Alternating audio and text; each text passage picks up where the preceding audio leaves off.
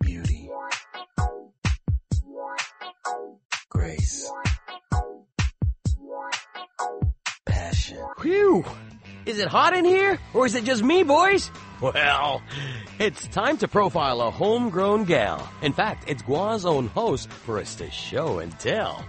A natural born babe with a meteoric rise to fame. Meet Sarah Lian. Now a household name. Well, 30 and under, and only those who serve online. First impression, uh, I don't know whether she was fitting for creative, but when she opened that mouth and she has the gift of the gap, absolutely big. Her full name's Sarah Lian Lei Ting, and this lass was actually born in Taiping. She grew up in Canada and lived in Vancouver. At 16, she was already noticed by a photographer. Did you know that she was in this play called Sex in Vancouver? I wonder how they'd show that in theater. Anyways, she decided to come back and try out Malaysia and met the Babe Bits executive producer.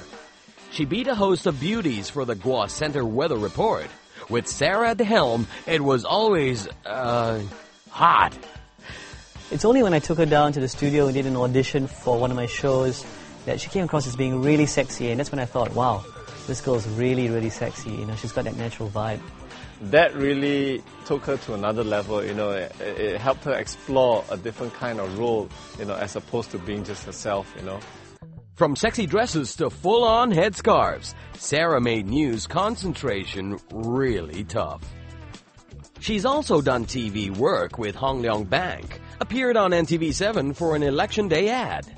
As her stars started shining, Sarah drove men mad, including the editor of FHM Mag. She was featured in FHM and later its most wanted list. And what do you know? Out of 100, she came in at 3. I think it's just been that FHM uh, 100 Most Wanted list. I think when she became number three and number one Malaysian overall on that list, I think she really did a big, big favor for herself. Uh, she put herself in the public's eye in the media spotlight, and uh, I think it just snowballed from there. The following issue saw Sarah grace the front cover. For a girl so humble, she certainly deserved the glamour. She currently hosts Randomania right here on Gua, covering the latest launches and events thus far. She's graced a few more covers, from Stuff to Clive. Now on 8TV, she brings things to life. If you can't get enough of her in your sights, she's hosting Ultimate Prom Night. Sarah's huge on Facebook if you want to be her friend, but you'll have to beat out a few hundred men. Uh, practically, you know, if you log on to Facebook, you'll see her face right here, here, here, and there. And it's amazing you know, how she juggles between work and partying at night, socializing. She has like uh, four best girlfriends uh, that she parties with, that she's pretty close with. But visit her website at sarahlian.com to get the latest info on our sex bomb. We'll give you a scoop that this girl loves clubbing. She's a party animal. Doesn't that tell you something? She she gives new meaning to being a party animal. I know she goes clubbing a lot because if I call her in the mornings, I'm always going to get an even more sexy, like just got out of bed voice. And even though she's still relatively new, Sarah's sexy hot brand makes her a fortunate few.